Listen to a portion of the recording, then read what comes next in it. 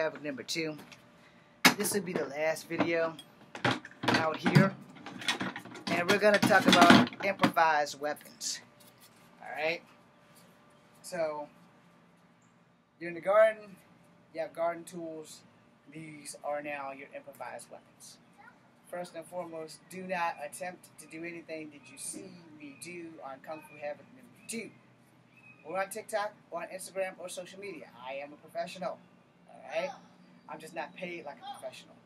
So, if you have to fight somebody with the closest thing available that happens to be this garden claw, you know, boom, boom, boom, block, block. This is a close quartered weapon, which means either you're going to have to let them get in close to you or you're going to have to be the aggressor and get in close to them. You have to catch them and pull them and then strike, or catch them and pull them, spin it off, and then stab. Those are things that you're going to be able to do with this shit.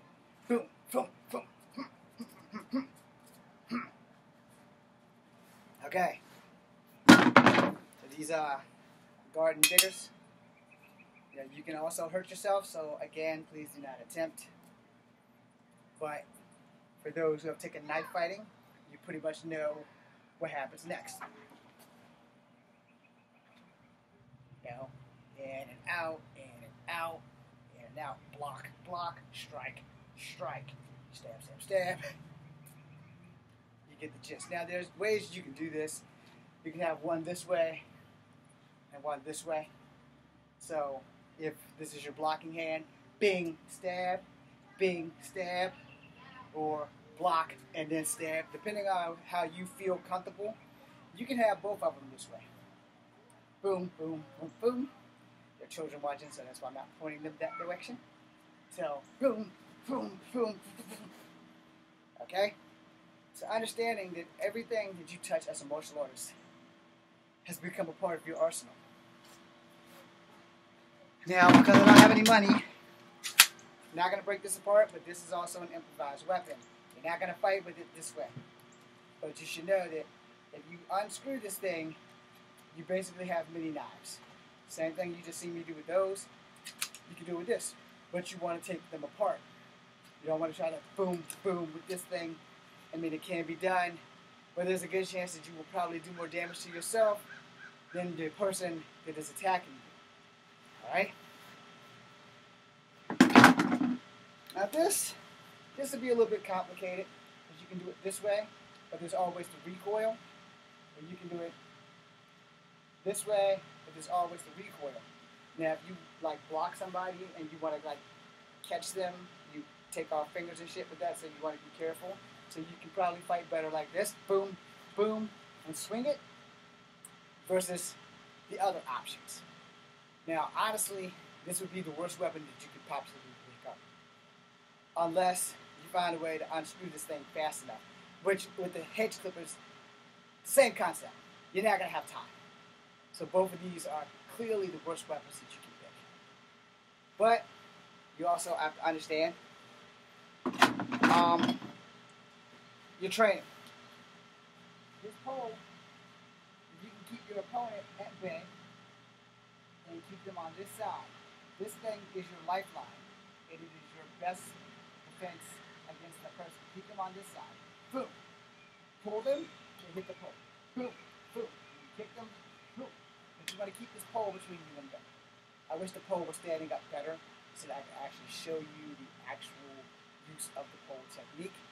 However, we do have substitutes. So, this thing's going to be in your visual way, but it's there. So you want something this thick, and you want to keep your opponent on that side. So boom, boom, and you got to keep moving. And they throw a punch, you pull them into the pole.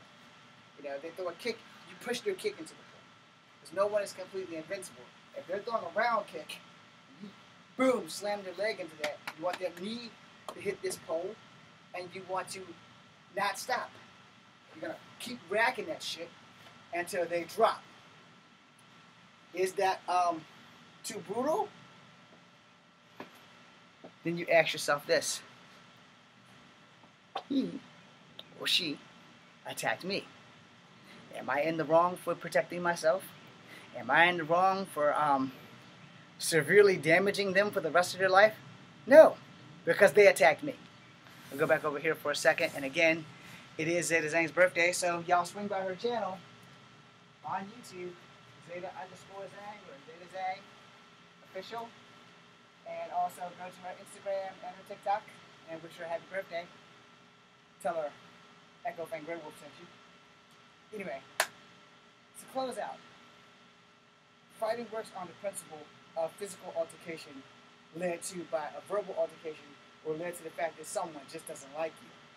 And because they don't like you, they want to fix your face. More becoming more like Picasso instead of the beautiful person that you should be. Understand that in all fights, everything is situational, everything is different, and everything around you is your weapon. If you cannot use your environment as your weapon, your teacher hasn't failed you, they just haven't taught you enough stuff. Alright? Or if you have a really horrible teacher, then not only have they failed you, they also haven't taught you enough stuff. Works in many different directions. Alright? Now, understand all martial arts kind of correlate together, and some martial arts can compete against others, you know, and you just have to figure out what works best for you. Like if somebody jumped out the bush and started fighting me with capoeira, my only choice is drunken master. Without the bottle, without the whole form, just this is the sweat. Alright? It's all I'm gonna use. Because I'm not dropping on the ground and going into drunken master from Wushu to just do what I need to do to get this guy who's doing all these acrobatic shits into my life. Now, in reverse concept, if he's doing Drunken Master and I only know capoeira, I'm to stick with basics. I'm not to do a whole bunch of um, Eddie Gordo or Blanka stuff. I'm going to fight like I would normally fight. Because I'm not to sit here and try to um, teach you, hey, well, let's do some of this fancy smancy shit. Fancy smancy gets you broken up over the rack. Understand that shit. Basic moves is what you use in real fights. You can study all the martial arts you want in the world, and I promise you, you can go talk to anybody in the UFC, and they'll tell you a punch is a punch, a kick is a kick. Because you're not to sit here and do snake in the UFC. You're not to do that shit. That guy on the other side, he sees you breaking the snake mode, he's like, this is you, and this is him. Watch too much TV.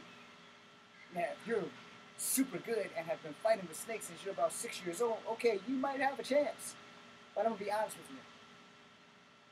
First and foremost, there are rules in the UFC. There are rules in every sporting competition. And if you're going in for a snake thrust to the throat, it's illegal. But understand the concept of being a snake. A snake is low to the ground. A snake has only one defense, its mouth. Rattlesnake has a tail. Don't do the Hollywood snake. Just stick with the snake, all right? So if you're going to do snake and you're going for the throat, because that's like its main move, you know, it's coiling, boom, you know, maybe from the side, it's coiling, boom. You know, that snake's got to turn his head to bite. It's not going to bite this way. If you're going to do that, then you're going with crane. And so your crane, it thrusts this way, your snake has to turn its head. Now somebody's to come on here and say, no, you're full of shit. Okay, fine. You try um, thrusting somebody in the throat and grabbing them like this. It's not to work. Alright? But knock yourself out and then show me video. Your snake is going to have to thrust and coil. So it's thrust and coil. And when it coils, it's gripping the throat. It's not gripping here. It's gripping here. Okay? Mantis, you can work with that. Boom! Because you can target anywhere up here with Mantis. It's just two finger jabs. Boom! You know, one in the eye. All right, all right. Tear their ass to pieces. You can also incorporate knees in mantis. You can incorporate knees in snake. You can incorporate knees in fucking damn any animal style. And matter of fact, if y'all haven't taken a note from Thai fighting yet about how dangerous a knee, an elbow, and a forearm is, and you're not changing up your martial art, then you getting your ass kicked is well deserved. Alright? Kempo, I put my elbows in it. And my forearms.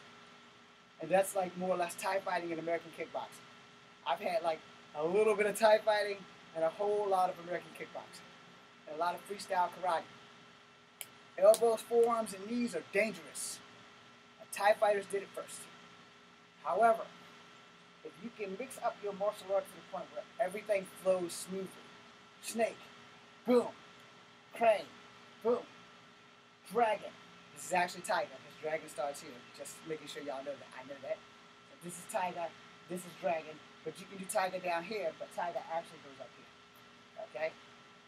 Mantis, Dragon, Tiger, Mantis, Snake, Crane. Alright? We're not doing the monkey shit. Okay, just to get that out of the way. I'm not gonna dance around here looking like a monkey because my hip doesn't fucking. But I could do it at a younger point in life. Right?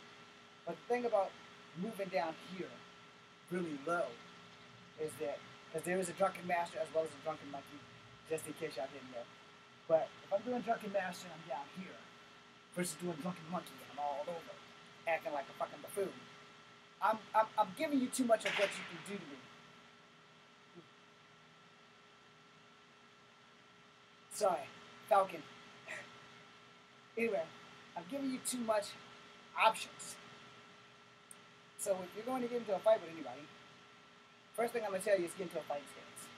This is a southpaw boxing stance, but it is a Wing Chun standard stance. Alright? Now if you're left-handed, still a Wing Chun standard stance is just a proper boxing stance for regular people who go left, left, right, which is boxing, and Wing Chun, it's more like, alright, you throw a punch, block, strike, boom, you know, that's more my defense. So again, and I'm going to say this, you guys can take it with a grain of salt, but this grain of salt has at least one gram of truth to it. Every fighting style that you have been taught, you unconsciously change it to work with your body, which is why it will never look like your sensei. It will never look like the person who taught you. It will never look like anything that you see on TV because your body is your body and it's your body alone. Everything works on your body the same as it does everybody else. You got five fingers and five toes. Some people have six. All right? But in the event, a block is still a block. Boom. It might not look as smooth as your teacher's block. Your teacher's block might be crisp. Boom. Boom. You know, you hear that bionic man noise? Boom. Boom. Boom. Boom. Boom. Or he might use his feet. Boom boom, boom, They might even jump into the air to a flying dragon kick. I can't jump anymore. Hip replacement. Which is why that looked kind of fucked up. So, boom, boom, boom. You know, that's going to be a lot easier than me trying to jump through the air and fly and kick you. Plus, here's the truth. Anytime there more than one of your feet leave the ground, I pray you're only fighting one person. Because um, that person sweeps your foot, you go down. If you're up here, this foot's extended, and he just got under that bitch, he sweeps this foot.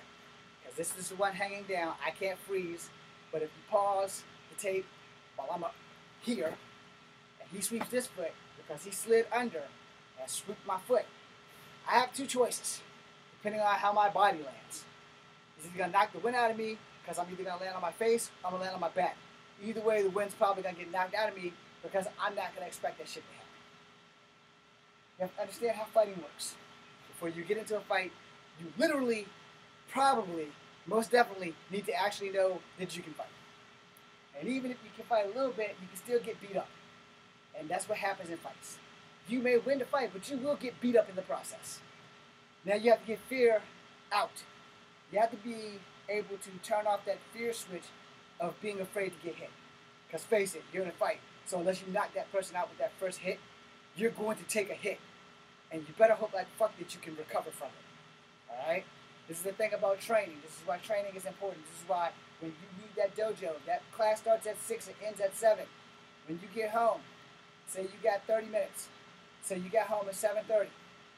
You go to bed at 9. You take that 7.30 10 extra minutes. When you get out of the car, it's 7.40 now. Then you get in there and you do your drills. You start training. You start doing everything you need to do, everything that you learned at school. Next day, you go to school, you learn something new, you come back, you do the same damn thing. And you do it until it's second nature. When your instincts make it so that no matter what your movements do, they reflect what you've learned, you have learned what second nature is. And you will be able to manifest this at any given point in time so I hope that I taught you guys something. Again, shout out to Zeta Zhang, the breathless, the breathless, breathlessly beautiful, dangerously sexy, and hopefully my future wife. Thank you guys for watching. It's her birthday. That's the most important part. Go to her channel, check out her shit, tell her happy birthday. Thank you guys for watching. I am Echo Fan Grey Wolf. This is Comfort number two. Be seeing you. Thank you for giving me 15 minutes of your time, extra too. And I gotta get out of here before the rain drops.